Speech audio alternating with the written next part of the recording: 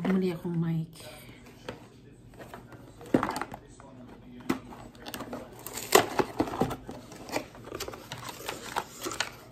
Alam mo singer, no?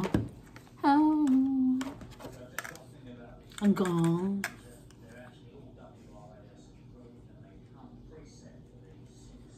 Hmm, ano kaya ito? And bumili din ako ng stand.